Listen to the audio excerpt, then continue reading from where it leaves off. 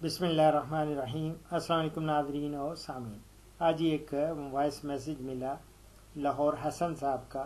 وہ بکری اور بکری کے بچے میں انہوں نے پوری سٹوری سنائی اور سب سے بڑی انہوں نے فیڈ بیک بھی دی کہ دودھ اتار جی السلام علیکم ڈاکٹر صاحب ڈاکٹر صاحب کیا حال ہے؟ خیریت میں جی بسم اللہ بسم اللہ۔ اچھا جو آپ نے کہا تھا زیرہ وغیرہ وہ دے رہا ہوں ماشاءاللہ بکری دودھ وغیرہ اتار لی اتار لی ماشاء اللہ ماشاء اللہ دوسرا ڈاکٹر صاحب یہ کہ اس کو نا پرسوں کی بات ہے یا تین دن پہلے کی شاید بات ہے اس کی نا بچی کے اوپر وہ بکری کا نا وزن آ گیا۔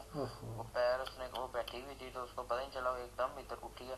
وہ پیر اس کے نا وہ اگلی ٹانگ کے جو وہ اوپر گٹ ہوتا ہے ادھر آ گیا۔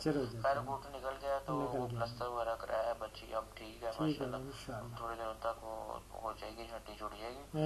تو اچھا یہ ہے کہ صاحب وہ نا اس نے وہ اس بچی کو نا اپنانا چھوڑ دیا۔ اپنانا چھوڑ ایون اس کے پاس بھی ہم رکھتے ہیں بیٹھتی اٹھتی ہے۔ اس نے نا بس اپنانا چھوڑ دودھ وغیرہ پلانا چھوڑ دیا۔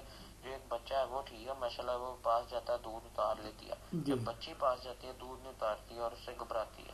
اپنانا چھوڑ دیا۔ تو یہ ذرا ذرا بتا دیں بہت شکریہ جی آپ کا میں انتظار میں ہوں۔ السلام علیکم۔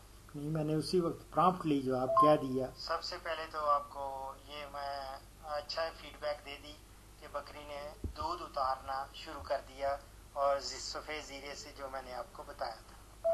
مجھے بہت افسوس ہوا ہے کہ جو اس کی بچی کی ہڈی ہڈی جو وہ فریکچر ہوئی ہے اور اس میں پلسٹر چڑھا ہوا ہے۔ اصل میں وہ پلسٹر چڑھنے سے پہلے نارمل حالت میں اس کے سامنے آتی تھی یا نیچے چل- چلی جاتی تھی تو وہ۔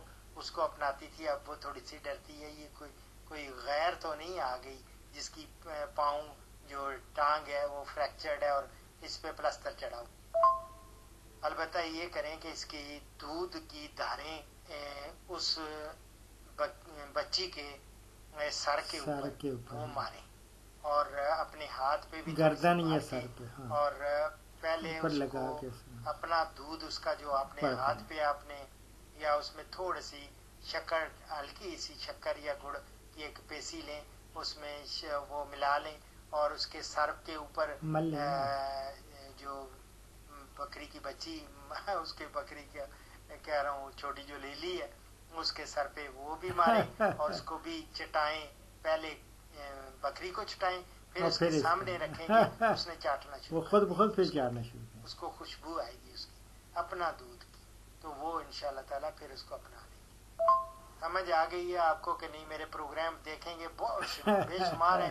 اور اتنے اتنے اچھے لوگوں نے پھر فیڈ بیک بہت اچھی دی ہے جو بچے نہیں اپناتے ایون بڑے جانور بھی بھینسیں بھی گائے بھی بنت اسلم کا دیکھیں پروگرام ہاں خاص طور پہ پروگرام ہے بنت اسلم کا وہ بھی۔ نہیں اپناتی تھی ہاں۔ تو وہ سارے اپنا لیے اسی طرح آپ نے وہ دھارے مارنی ہے سر کے اوپر اس کے پہلے اس کو وہی آپ نے چٹانا بھی ہے تھوڑا سا پہلے اس کو بکری کو پھر اس کے اور پھر آگے رکھیں گے اور اس کے اوپر اس کا بھی دودھ لگا ہوا ہوگا۔ اگر تھوڑی سی چکر ڈال لیں گے تو زیادہ بہتر ہوگا۔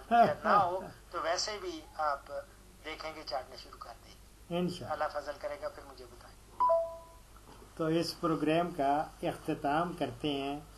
قرآن کریم سورہ تہا اللہ تعالیٰ نے فرمایا وقر رب زدنی علم اے پیغمبر کہہ دیجیے، اے میرے رب، میرے علم میں اضافہ کر۔